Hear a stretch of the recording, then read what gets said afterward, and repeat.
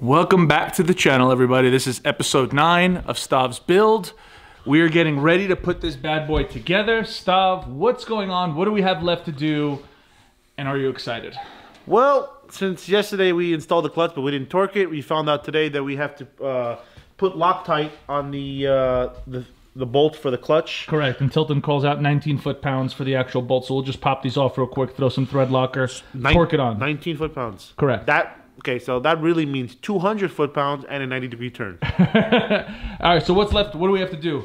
so we're gonna have to make the clutch, uh, make the transmission after you torque the clutch. Uh, but before we do that, we gotta swap over my slave cylinder, my actual custom brackets. You know, I'll throw that out there, and then. Uh, The also- throw up bearing. Throw, as well. throw up, yeah, the throw up bearing. So the throw up car. bearing we're gonna have to swap in from his gold trans over to this one, Correct. and then we'll be able to mate the trans onto the motor. And then after that, once we mate the trans on the motor, before we even put it in the car stop, what are we doing? We're gonna be uh, swapping out my terrible stock axles that have ripped boots. And then, uh, well, I mean, it's hard to keep boots and axles. in Crazy, you know, they consider A4 axles to be really weak, but your 12 valve didn't break them at all. Kept them both together. Those are S4 axles, actually. But anyway, let's, let's throw that out there. Um, so we're gonna have to swap out the DSS axles, bolt them in, torque them, uh, and hopefully we get the motor in today and uh, firing in the next 40 out, 48 to 96 hours. all right, guys. So this is episode nine underway. We're gonna already get just started. Enough talking. Let's get this motor. Stav's taking apart the rest of the trans over there, just for the parts. Did you check off the uh, throw up uh, throw up bearing yet? No, Jordan. Okay. Then we'll uh, swap it into this. Clutch is now torqued, thread locked, good to go, still aligned. And then we'll mate this transmission very, very shortly. Oh, I gotta throw in one of these bolts here. So it's one, two. Yeah, we gotta we gotta throw a bolt in that adapter plate right there. Hey, you don't know where the transmission goes. No, transmission goes into this. This goes into the Oh, adapter plate. what it goes Yeah, yeah. So this one goes into the transmission. So I gotta. We'll need another bolt for that. I'll grab that real quick. And then, oh, I also want to talk about where's that bolt that goes through the frame? This this one right here. So if you guys are doing the swap, check this out. There's a small bolt he- bolt here, a bolt hole, and this actually goes through the actual adapter plate and actual casing of the bottom of the motor.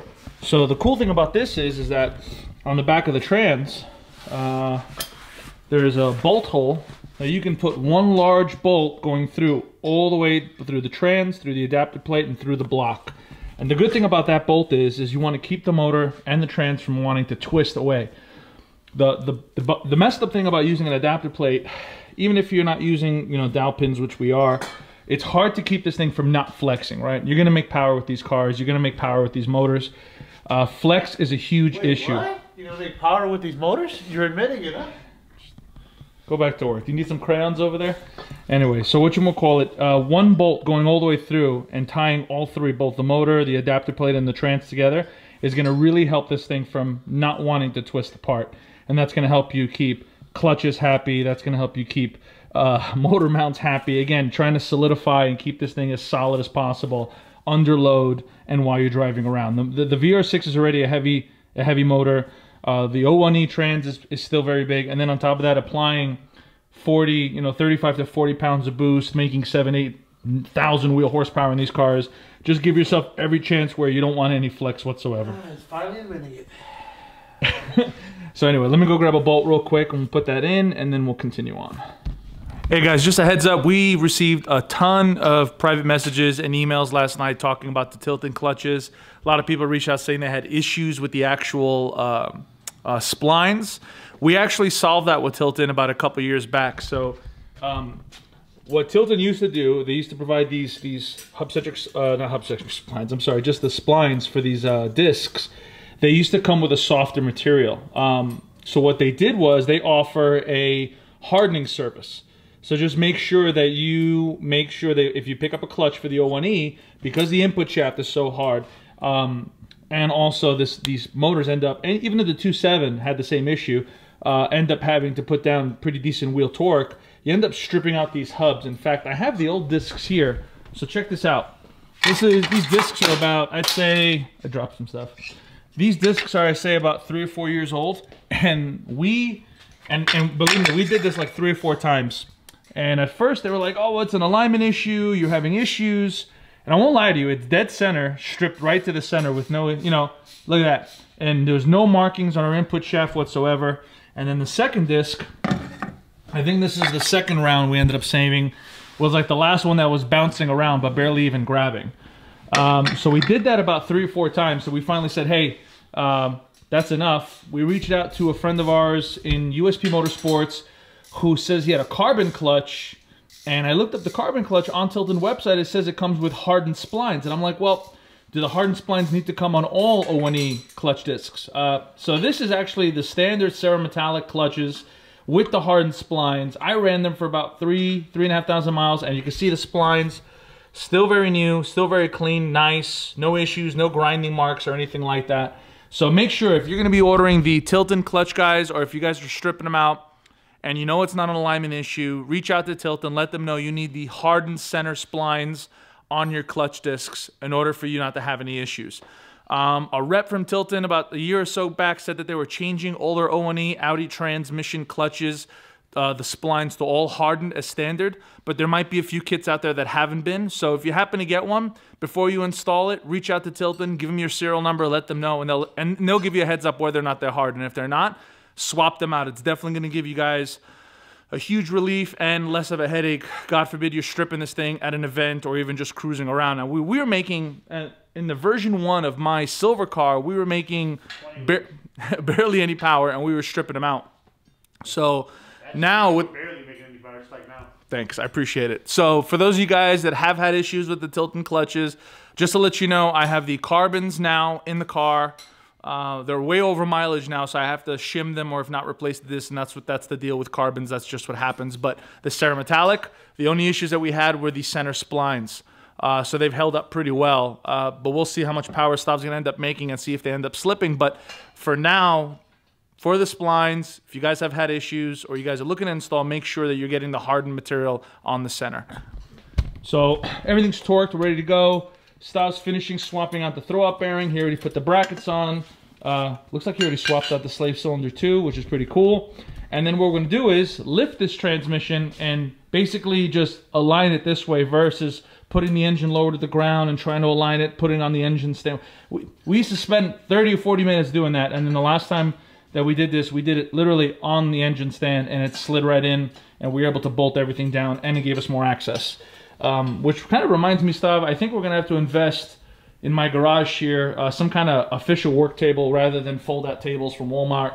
So this way we're not working on the floor like this. Is it the same as Walmart or Walmart? Wall Walmart. Walmart. So I'm gonna have to, uh, I think we're gonna have to invest in a solid work table so we're not always just working on the floor. All right. I mean, Stav, you're happy on the floor, no? No, I'm good. So yeah, that's that's that's the deal with that. So for those of you guys that had the issues or questions, thanks for reaching out. Thanks for giving us a heads up. Just FYI. Um, again, hardened splines on there. Anyway, let's mount this transmission. Stav, you ready or what, man? Hold on. You got some new sunglasses there? What are you wearing? Yeah, got the new Gucci integrated. Uh, What? they didn't send you a pair. Well, I, I can't wear a pair while I'm trying to work. How the hell are you seeing anything? You can't do anything without them. What do you got there? um, upgrading uh, to a to a different throw bearing. Tell us more about it, George, since this is your setup. So this is the same same throw-up bearing. I'm also running in my carbon setup. So this is the 034 billet throw-up bearing versus you got the factory one. Yeah, some. Oh, here it is. So this is the factory throw-up bearing, and there's a huge difference in sizing. Not that much, but in quality. Obviously, the OEM is good, but it still has plastic and other metal, small little metal components in here, and it may be prone to failure. So 034 came out with their billet throw-up bearing. I ended up having a spare since I bought a second one for the carbon. So now we're going to throw that into Stav's trans now that he's looking to go a little bit more competitive and start making some more serious power. And then also shifting a lot more aggressively too. Correct, and you know this one is well worn. It's been on a 12 valve, so you know it's probably like bent and everything inside. This has been on a 24 valve, so it's basically brand new. All right, you're welcome, Stav. All right, install that in, and then once that's in, we'll be able to make the actual uh, transmission to your motor finally after eight episodes, and then we can get the motor in the car. All right, George, what's going on now? So if you come over here, um, we have bolts pretty much all over the trans from the 12 o'clock position going all the way to the 6 on the right hand side, but there's now one bolt here, except there's a spot right here on the bottom.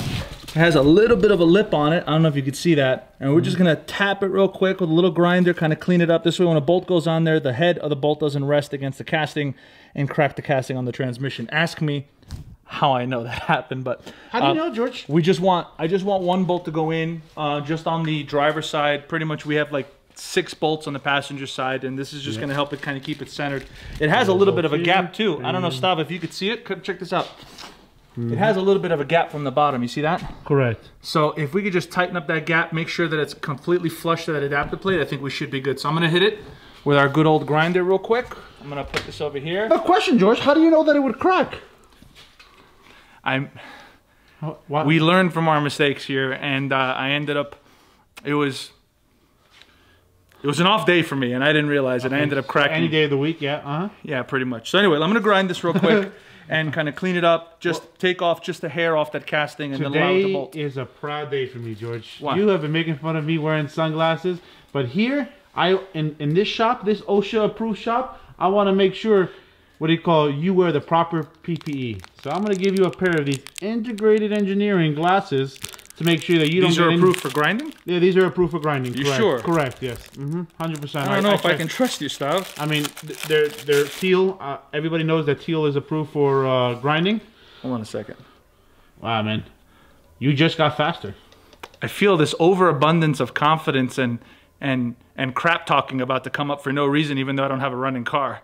Does that happened when I put these glasses on for you, Stav? Just- Just grind the freaking. All right, guys, thanks. let's get to the grinding. Remember I was telling you about that one bolt that goes through all three?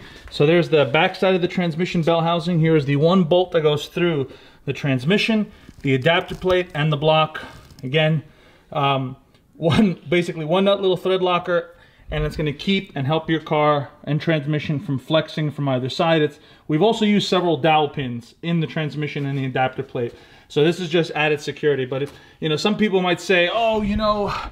You know, I didn't use that and my car ran just fine. Well, these a lot of these guys that are saying that are guys that ran these swaps for like 400 miles and then parted it out. So if you're looking to keep these swaps for a while, if you're looking to, if you're looking for the long run for the VR6 And we're not saying that it's not uh, necessary, but we're just you know there's there's a spot for us to try. it. Correct. So we you know we're adding as much reinforcement as possible. if you have the availability to put a long ass bolt to go through to secure it to keep it tight, and it's going to help it from keep it twisting, and you're looking to compete and go fast and just safeguard, you know, anything damaging, uh, why not? If you have the spot to put the and, bolt. and let's show them all the bolts that we use because a lot of people ask that with the VR6 swap. So to from the trans to the actual adapter plate slash bell housing, we have the 12 o'clock, technically 230, the three. We have the lower transmission bolt here. This goes from the adapter plate to the back of the bell housing, kind of pulls it in. And then from the back of the oil pan to the adapter plate is another bolt here that goes here. Doesn't go to the transmission, but still secures that at like roughly around the six o'clock. And then at the seven o'clock, here's a small uh, small little bolt that secures to the adapter plate and helps close the gap. Again, the driver's side, you're really kind of stuck in terms of hardware that can go through the transmission uh, into the bell housing. So it's really only one bolt. So we double our efforts up at the 12 o'clock in pretty much every other position just to make sure that it's secured. Now, here's the hole that Stav was talking about before. This is the adapter plate to the block. And what he did was he match drilled the hole. So he's going to put a bolt through there in the nut and it's going to help secure the adapter plate to the actual block No nut. once it's done. no nut there. It's, the block is threaded. Oh, is it threaded? Yeah, correct. I thought it was okay. So my bad. So it is actually threaded. So Correct. that's just the bolt that actually goes through, and it'll help keep the adapter plate flush to the block. Yeah, because a lot of times we've had people that reached out to us and asked us, "Oh, I think I, I don't understand how the adapter plate goes on." They, and they mount it, and they actually don't mount them like a line. Like they actually have them like Oh. slightly clock. Grab one of the adapter plates real quick Stav. So for those of you guys that are really kind of don't overthink the adapter plate process thing. Oh, what hardware? You know, I don't know which bolts to use. There's got to be a set bolt. You know what we did? We took one of these, went to the local hardware store, and just matched it up. Correct. Took our lengths. Now there was a couple different trips because oh man, that should have been a half inch longer, or that should have been an inch shorter. But I'm telling you now, do not overthink this adapter plate stuff. It is simply just metal and parts and bolts. So if you're not sure which bolts to get, it doesn't matter. No one's gonna sell you a kit, and even if they did, it's gonna work differently for everyone depending on what kind of setup you have. So just go to the hardware store, save yourself some money. You'll, you'll spend about 30 minutes there, get your hardware, come back to the house, and you're good to go. And you save yourself a whole bunch of heartache. A whole bunch of people that have emailed and contacted us, man, I'm stuck. I just, I don't know what belts to use. I'm telling you, do not let it, do not overthink it, because that's what I did back in the day when I first started the swap. Um, I overthought a lot of stuff and ends up being really simple. So again, check out your local hardware store and you should be able to get a lot of this stuff. So Stav, what are we doing now? Uh, we're just gonna mount the last few uh, tidbits on the motor, pull it off, and then uh, we're gonna mount up the removing. Uh, oh, we're gonna put up the star. Yeah, you're That's right. right, that's right. Uh, thank, thank you, uh, George. Uh, we're gonna be. I forgot we're gonna have to put the starter on and right. put the uh, the last two bolts because it's easier. I mean, it's easier to do when it's in the car too, but since we have it and it's fully Before we accessible. mount it up, Stav, can we talk about the starter? What kind of starter are we looking at? I'm using a VR5 starter. So it's a VR5, and what other starter would work as well? Oh, the 034 Motorsport starter, which I used to use. But other than the VR5, what is another factory starter that will work? So it's going to be the Phaeton. Phaeton, you're correct. Phaeton starter is also going to work, and let's see if we got the part number on here. just My part a heads up. numbers are not on it, but we could also provide it though. Is it not on there? No, it's from maybe brake clean. It came off. Let me see. It's not even engraved or anything like that. No, no, no, it's Oh, not. all right. Well, believe it or not, these starters can be had locally. Uh, there's an online resource you can get them if you need them. Uh, I'll see if I can grab the part number before the video is out and see if I can put it in the comments below. But don't overthink again the starter. If you can't really listen, a lot of people are not to be able to afford the 034 $500 starter. It's made out of billet. It's a badass starter. It's a heavy duty like it's a heavy duty unit. It's worth it. But if you can't afford it and you're looking to spend about 100 150 bucks, there's a factory option that you can get and it bolts right up. The only issue is with the 12 valve, you either have to clearance the block. You see all the grinding that we had to do, Steve? Uh, we have a light here. Oh, no, we can show them on my other motor. Actually, they could see it too. can See all that? yeah. See all the grinding that we had to do? The 12 valve is only, the only thing that sucks about the 12 valve is this. We have to grind the inside of the block to make the starter fit. On the 24 valve, these starters are plug and play. Yeah, and people might be asking like, hey, like people that are not doing the swap, just watching, maybe just because they like, we think we're funny, or they just happen to have a. You think beef you're up- funny? Yeah, people, it's all over the world. But anyway, like we're, we're showing you guys stuff that you guys say, oh, that might, you know, that's like why we're we showing you. When I was actually putting my um, starter in, we didn't actually know that. We kept trying to put it in. I'm like, dude, it's the starter we used last time. How come it doesn't work? And on the new block, we have to start grinding. And then the thing is, people are not talking about what we're doing here. Like pe- people are not talking about like there's a lot of things that are like not found on you know information found on the internet about these swaps, and we just want to show you the little tidbits. So when you go into the swap and you hit a, a little bit of a wall, maybe you could use this as a resource to, uh, you know, what do you call uh, help you know help you get through your swap and make it that much easier. So you know? Stav hit the nail on the head. The biggest problem in the Audi community is, aside from some of the, the all car communities. Well, I think in general, the Audi community in general and Volkswagen, there's not a lot of information for this kind of stuff out there. And a lot of people try to keep it close to their chest because a lot of them own businesses. A lot of them try to make profit on this stuff. Let me ask, let me tell you, uh, we're really happy to see all the influx of YouTubers out there that own Volkswagens and Audis that have kind of flushed out and they're starting to post all their builds. So just keep in mind, when you guys are seeing this stuff, this is the reason why we go over these small little, which may seem like useless facts, but if you're looking to do this swap, this is information that people used to pay a lot of money for. These are parts that used to cost people a lot of money. Again, some, some companies charge five or six hundred dollars for custom starters. OEM stuff works. The OEM adapter plate works. There's a VR5 adapter plate you could probably buy from eBay UK or eBay DE. There's a lot of resources you can to get a lot of these parts that will work. However, keep that in mind though. The $500 starter options that are out there are pretty badass. They are. They work really well. They're meant for people for racing applications. They're really stout. So we're not trying to devalue anyone else that offers parts for these cars. Uh, but just keep in mind there are there are other resources that you guys can get for these cars. So anyway, let's continue on.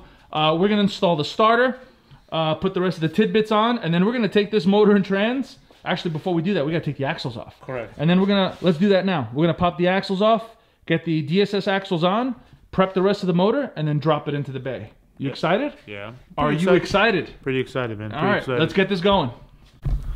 Dude, this tool is great. What tool is that? The Milwaukee uh, M18. What? Shameless plug. So let's uh let's pull that off. That's it. That's all it is, and we just pop out the axle on the other side, huh? Got the motor all done up, and then it just pops out. Look at this thing. Yeah, this thing has a lot of power, man. Yeah, I know you're not. I know it's surprising to you coming from a 12 valve, so that thing You must notice have a how I held power. all this power with one hand, just like when I hold the steering wheel? Did you pop that bolt off? Nice. I dropped something. Not sure what, but I dropped something. Stock axles. Now we have cores, so we can send out another to DSS for me, and I can get some DSS axles too. Oh no, they don't sell them to you. Your name is blocked. Right. So stock axles are out, guys. We're pretty much almost. We're actually ready. Oh. Motor's prepped. Transmission is mated. Starter's on. Now we just got to get the engine hoist off of Stav's spare. What's that? Oh, Stop. We got to put that away too, because that was a good motor, no? Correct. The stock one. We'll get the engine hoist over here. I mean, it was good enough to whoop your butt. You know what Yeah, I mean? okay. Yeah, rice or flybys. All right, guys. So now we've gotten the axles out. We're gonna install the DSS axles in. Again, once the motor and trans are out, it's super easy. All it is is one hub bolt. Axle slides in. You tighten the bolt from this side, and you're good to go. So let's grab your DSS axles real quick, Stav, and let's install these bad boys. Oh snap! DSS axle. The hubs look a lot beefier too, or maybe they're just cleaner.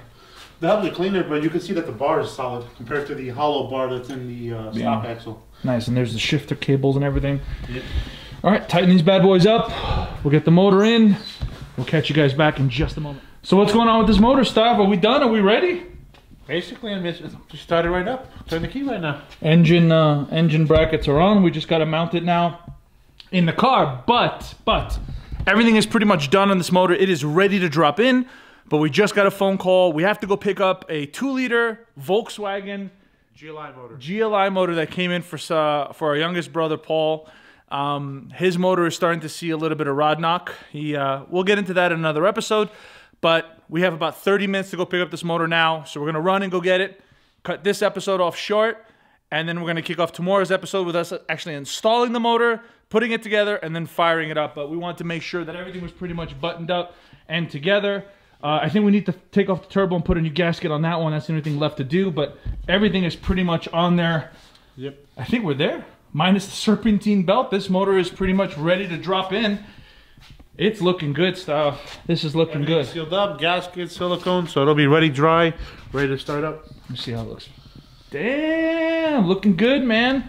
All right, guys. So we're going to wrap up episode nine, and we'll see you guys on episode 10. Till then, I'm George. Stav. Thank you guys for watching. We'll see you guys in the next episode. We're going to run and go grab this motor, and that's going to kick off an entirely new build series. So we can't wait to showcase that as well. Uh, see you guys in the next episode.